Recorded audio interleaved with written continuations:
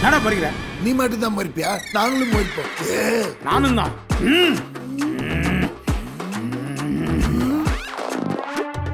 பாத்தியாடா நான் மொச்ச பையன் எப்படி பயந்து வர்றான்னு நம்மளை பார்த்தா பேயே பயப்படுவாங்க. இது அந்த பேயே கேட்டுக்கிட்டு தாண்டா இருக்கு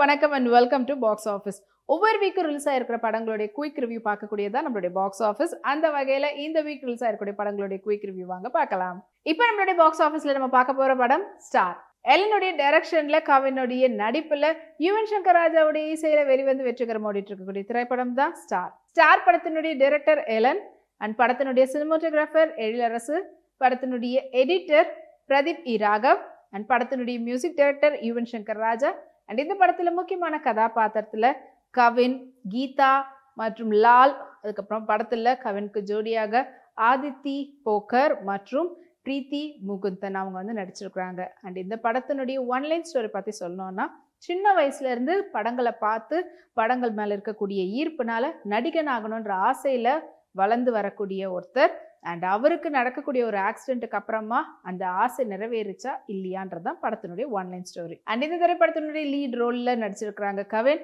அண்ட் கவினுடைய எல்லா பர்ஃபெக்டான ஒரு ஆக்டிங் பெர்ஃபார்மன்ஸ் இந்த படத்தில் நம்ம பார்க்கலாம். ஏன்னா படத்தினுடைய கதை வந்து சின்ன வயசுலேருந்து ஆரம்பிக்குது.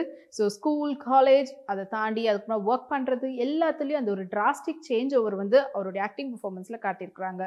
அண்டு சின்ன வயசுலேருந்தே அவருக்கு வந்து நடிகனாகணும் நடிகனாகணும். அதுக்காக சென்னைக்கு வராங்க. அது மட்டும் இல்லாமல் அதுக்காக மும்பையில் போயிட்டு ஆக்டிங் கோர்ஸ்லாம் பண்ணுறாங்க அங்கெல்லாம் கற்றுக்கிட்டு அதுக்கப்புறமா அவர் வந்து காலேஜ் படிக்கும்போதே அவருக்கு ஒரு லவ் ட்ராக் வந்து இருக்குது அண்ட் அப்போது இருந்தே அவர் வந்து ஸ்டார் ஆகிடணும் ஸ்டார் ஆகிடணும் நம்மளும் ஒரு ஃபேமான ஒரு ஸ்டாராக இருக்கணுன்ற ஆசையில் இருக்கிறாரு. அண்ட் அந்த சமயத்தில் அவருக்கு ஒரு ஆக்சிடெண்ட் ஒன்று நடக்குது. ஸோ ஆக்சிடென்ட்டுக்கு முன்னாடி வரைக்கும் பார்த்தீங்கன்னா ஒரு நடிகருக்கு முகம் ரொம்ப முக்கியம். ஸோ அந்த முகத்தை ரொம்ப பாதுகாப்பாக வச்சுக்கணுன்றதுக்காக அவ்வளவு கேர் எடுத்துப்பார். அவருடைய ஃபேஸில் எந்த ஒரு டேமேஜும் வந்துடக்கூடாது எதுவும் வந்துடக்கூடாதுன்றதுக்காக. ஸோ எல்லாத்தையும் அது ப்ரொடெக்ட் பண்ணி பண்ணிக்கிட்டு இருக்கக்கூடியவருக்கு இந்த ஆக்சிடெண்ட்டில் அவருடைய ஃபேஸில் ஒரு சில மார்க்ஸ் அண்ட் அந்த மாதிரியான விஷ விஷயங்கள்லாம் வந்துடும் அண்ட் இது மூலயமா நம்மளுடைய நடிகர்ன்ற ஆசை என்ன ஆக போகுதுன்ற ஒரு குழப்பத்திலையும் ரொம்ப ஒரு தனிமைப்படுத்திக்கிட்ட அவரையே அவர். அண்ட் ரொம்ப ஒரு ஸ்ட்ரெஸ்டான ஒரு சுச்சுவேஷனில் இருப்பார். அண்ட் இந்த சமயத்தில் அவங்களுடைய லவ்வரும் வந்து ஃபேஸ் இப்படி ஆயிடுச்சுன்றதுல அவங்களும் விட்டுட்டு போயிடுவாங்க. அண்ட் அதுக்கப்புறமா இவர் வந்து லவ் பண்ணிக்கிட்டு இருந்த இன்னொரு ஹீரோயின் செகண்ட் ஹீரோயின் அவங்க வந்து பார்த்தீங்கன்னா கல்யாணம் பண்ணிப்பாங்க. கல்யாணம் பண்ணிட்டு லவ் லைஃப்பில் அவருடைய ஆசை எந்த நிலமையில இருக்குது?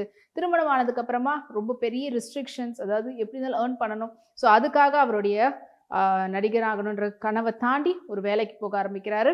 வேலைக்கு போய்கிட்டே மறுபடியும் இதுக்கு ட்ரை பண்ணுறாரா இல்லையா? அண்ட் அந்த ஆக்சிடெண்ட்டுக்கு அப்புறமாவது அவருடைய சேஞ்ச் லைஃப்பில் வந்து ஒரு எப்படி சொல்கிறது ஒரு கல்யாணம் ஆகிட்ட பிறகு வெறும் ஃபேமிலினே போயிட்டாரா? அப்படின்னா எல்லாருமே இப்படி தானே கல்யாணம் ஆகிட்டு பிறகு அவங்களுடைய கனவை வந்து தேட முடியாதா? அதுக்கான நேரம் கிடைக்காதா? அப்படின்ற மாதிரியும் கொண்டு போயிட்டு அண்ட் ஃபைனலி ஃபினான்ஷியலாக ஒருத்தவங்க அவங்களுடைய கனவை தேடி போகும்போது எவ்வளவு கஷ்டப்படுறாங்க அப்படின்றதையும் காட்டியிருப்பாங்க.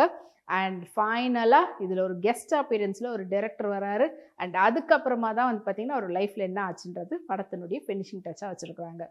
அண்ட் இந்த படத்தில் அவருக்கு ஜோடியாக வந்து பார்த்திங்கன்னா ஃபர்ஸ்ட் ஹாஃபில் அவங்களுக்கு பிரீத்தி முகுந்தன் அவங்க லவராகவும் அதுக்கப்புறமா வந்து பார்த்திங்கன்னா அதித்தி அவங்க வந்து ஒரு கேரக்டரும் ஒய்ஃபாகவும் நடிச்சிருப்பாங்க. அண்ட் இந்த படத்தில் லால் அவர்கள் வந்து அப்பாவாக நடிச்சிருக்கிறார். கவனுக்கு கீதா கைலாஷ் அவங்க வந்து அம்மாவாக நடிச்சிருக்கிறாங்க. ஒரு படத்தில் நடிக்கணும் அப்படின்னாலே முதல் ரெஸ்ட்ரிக்ஷன் வீட்டில் இருந்து தான் வரும். பட் ஆனால் இதில் வந்து எல்லாத்துக்கும் சப்போர்ட் பண்ணுற விதத்தில் லால் அவர்களுடைய கேரக்டர் நல்லா இருக்குது. ஒரு அப்பா கேரக்டரில் ரொம்ப பர்ஃபெக்டாக சிங்க் ஆகிருக்குது இவருக்கும் கவின் அவர்களுக்கும். அண்ட் கவின் வந்து பார்த்தீங்கன்னா அடுத்தடுத்த படங்களில் அவருடைய பர்ஃபார்மன்ஸ் இன்னும் இன்க்ரீஸ் பண்ணிகிட்டே தான் போயிட்டுருக்கிறாரு. அண்ட் அதே போல் இந்த படத்துலையும் ஒரு ஸ்கூல் பாய் காலேஜ் பாய் அதுக்கு அடுத்து அவருடைய மேரேஜ் அதுக்கப்புறமா இந்த ஃபேஸ் ரியாக்ஷன் எக்ஸ்ப்ரெஷன் ரொம்பவே சூப்பராக இருக்குது. அண்ட் படத்தில் எஸ் நம்மளுடைய முக்கியமான போர்ஷன் இந்த படத்தினுடைய ஒன் ஆஃப் த லீடுன்னே சொல்லணும் யுவன் சங்கர் ராஜா அவர்களுடைய இசை. செம்மையான ஒரு மியூசிக் படத்தை நம்மளை கூடவே ட்ராவல் பண்ண வைக்கிறது அவருடைய மியூசிக் தான் சொல்லணும். ஸோ ஃபர்ஸ்ட்லேருந்து கடைசி வரைக்குமே அந்த மியூசிக் இன்னும் ஒரு எக்ஸ்ட்ரா பூஸ்டப்பாக இருக்குது கதைக்கு. ஆஸ் வெல் அஸ் வரக்கூடிய பாடல்களும் சரி ஒரு ஒரு பாட்டுக்கும் தியேட்டரில் இருக்கக்கூடிய எல்லாருமே அப்படி கைத்தட்டி ரசிக்கிற விதத்தில் தான் ஒவ்வொரு சாங்குமே இருந்தது. அண்ட் அது மட்டும் இல்லாமல் எஸ்பெஷலி பிஜிஎம் தான் வந்து கிளைமாக்ஸ்லேயும் சரி இன்டர்வல் பிளாக்லேயும் சரி அது வந்து ஒரு வேறு லெவல் டச்சிங் வந்து கொடுத்துருந்தது. அண்ட் இந்த படத்தில் வந்து முக்கியமாக ஒருத்தவங்க காசு இல்லைன்ற ஃபீல் இருக்குது பார்த்தீங்களா அதை ரொம்ப அழகாக பிரதிபலிச்சிருக்கிறார் கவின். அண்ட் அந்த சுச்சுவேஷன்லலாம் வரக்கூடிய அந்த எமோஷனை வந்து நம்மளுக்கு கனெக்ட் பண்ணுற விதத்தில் யுவன் சங்கர் ராஜாவோட இசையை வந்து ரொம்ப பர்ஃபெக்டாக இருக்குது. அண்ட் படத்தினுடைய டோன் ஒவ்வொரு காலகட்டத்துக்கு. நைன்டிஸ் பீரியடில் ஆரம்பித்து இப்போத்திய கரண்ட் சுச்சுவேஷன் வரைக்கும் கொண்டு போகும்போது அதுக்கேற்ற மாதிரியான டோனை வந்து ரொம்ப அழகாக யூஸ் பண்ணியிருக்கிறாரு படத்தினுடைய சினிமோட்டோகிராஃபர் எழில் அரசு அவர்கள். அண்ட் எடிட்டர் அவருடைய வேலையை ரொம்ப பர்ஃபெக்டாக பண்ணியிருக்காரு அண்ட் எல்லாருமே எல்லா வேலையும் கரெக்டாக பண்ணிட்டாங்க அப்படின்னு தான் சொல்லணும். எஸ்பெஷலி டிரெக்டர் கொஞ்சம் வந்து கொஞ்சோண்டு அவருடைய ஸ்க்ரீன் பிளேயில் இன்னும் பெட்டராக ஏதாவது கொஞ்சம் பண்ணியிருந்தாருன்னா நல்லா இருந்திருக்கும்.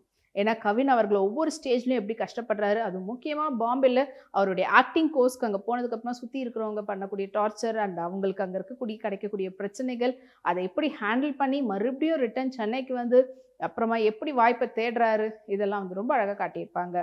ஸோ மொத்தத்தில் ஸ்டார் படம் ஸ்டார் மாதிரி நிற்கிது அண்டு இதில் ஒர்க் பண்ணியிருக்கக்கூடிய ஒவ்வொருத்தரும் அவங்களுடைய வேலையை ரொம்ப பர்ஃபெக்டாக பண்ணியிருக்கிறாங்க. அண்ட் இது எல்லாத்துக்கும் சேர்த்து இந்த வீக்கெண்ட் கவின் ஃபேன்ஸ் மட்டும் இல்லாமல் யுவன் சங்கர் ராஜா ஃபேன்ஸ் மட்டும் இல்லாமல் ஒரு திரைப்படத்து துறையில் உள்ளே வரணும் நடிகராக ஆகணும்னு ஆசை இருக்கிறவங்க அண்ட் அதுக்காக என்ன மாதிரியான முயற்சிலாம் பண்ணுறாங்க பின்னாடி அவங்களோட சேர்ந்து அவங்களுடைய குடும்பத்தினர்லாம் என்ன மாதிரியான பிரச்சனைகள்லாம் ஃபேஸ் பண்ணுறாங்க அப்படின்றத ரொம்ப யதார்த்தமாக சொல்லியிருக்கக்கூடிய படம் தான் இந்த ஸ்டார் படம். அண்ட் இந்த வீக்கெண்ட் இந்த திரைப்படத்தை தேட்டரில் பார்த்து என்ஜாய் பண்ணுங்கள்